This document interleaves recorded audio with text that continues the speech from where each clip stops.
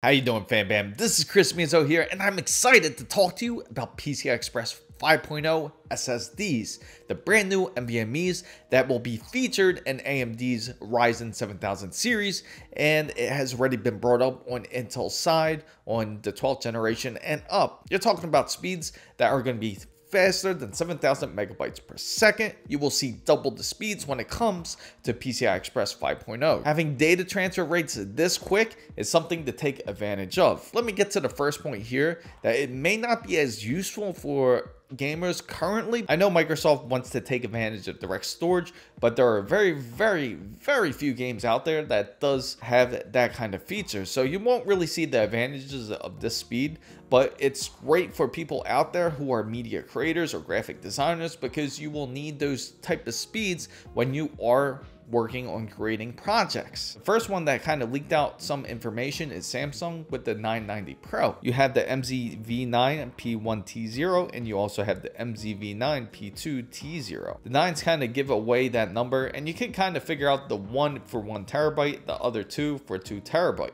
when Samsung does come out with their brand new SSDs for PCI Express 5.0, you can count on Samsung using their 3D NAND technology. The great thing about having 3D NAND is it's super reliable and you don't really have to worry about failures. More than likely, if you're looking for MLC, it's probably not going to be the case unless it's going to be this really crazy expensive and there's very few SSDs out there that do feature MLC, more than likely it will be a TLC based SSD. Now, when it comes to PCI Express 5.0, this is not new to Samsung. The first one they actually created was the PM1743. The PM1743 was up to 14.3 gigabytes in storage and this is more for enterprise use and it is usually installed in servers. It has a very different form factor which is EDSFF and more than likely it's not going to be a drive that anybody can just go try to purchase it because it's going to be mad expensive. Samsung did say that their drives can go up to 13 gigabytes per second while the random read speeds could go up to 2.5 million input and output per second. The write speeds are supposedly significantly improved over its prior generation. So you can expect in every single way, it will have no problem beating out PCI Express 4.0 NVMe's. What kind of form factor will it be? Will it be either MLC or TLC? And most importantly, how cool will the storage be? Because with these type of speeds you can expect the heat for the SSDs to heat up even more. Because just like the PCI Express 4.0s back then you actually had to install an external cooler. More than likely these new NVMe's will get pretty hot especially for how fast they can read and write if it needs a cooler to be installed for these NVMe's to be more compatible that you can't reach a certain temperature because we all know what would happen if you reach too high of a temperature when it does come to NVMe go to that inevitable blue screen of death if it does not have enough of a cooling source because we all know how hot NVMe's can get for PCI Express 4.0. More than likely, it's going to have to find an active cooling solution with these new NVMe's, and more than likely, these motherboards will be a lot more passively cooled so we won't really have to worry about the issues on the desktop wise more than likely it will run into more issues when it comes to more of compact factors such as mini ITX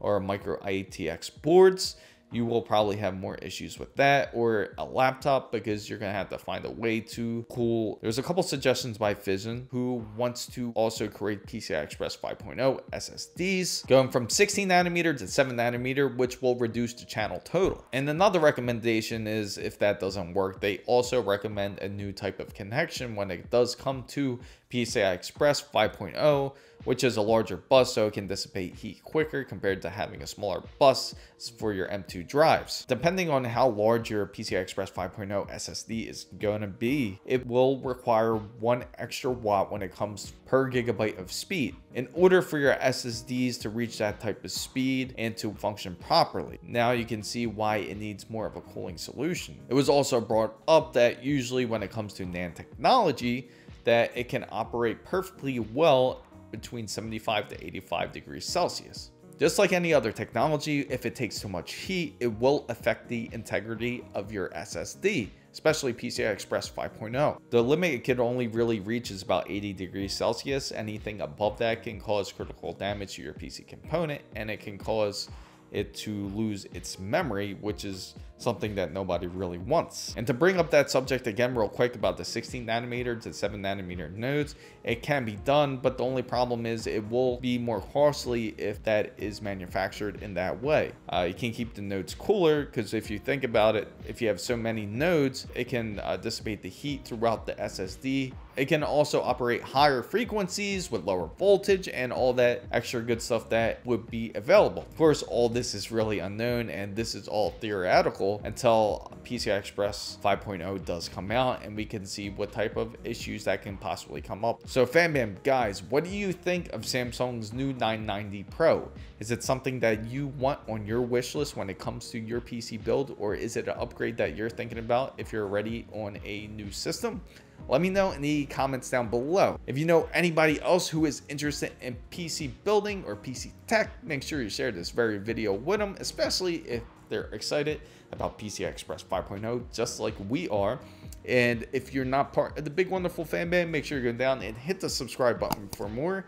And don't forget to hit the notification bell. And for all the newest updates, make sure you follow my Twitter handle right here, as it is the same as my TikTok and IG as well. Thank you guys so much for watching. This is Chris Mizo, signing out.